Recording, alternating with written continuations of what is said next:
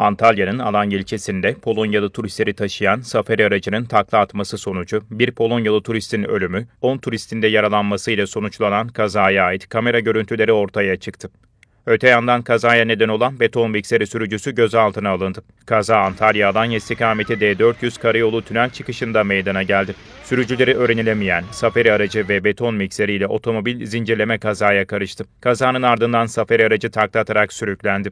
İhbarın ardından olay yerine çok sayıda sağlık, polis ve itfaiye ekibi sevk edildi. Ters dönen safari aracında sıkışan Polonyalı turist olay yerinde hayatını kaybetti. Yaralanan 10 turist ise ambulanslarla hastanelere kaldırılırken polisin olayla ilgili incelemesi devam ediyor.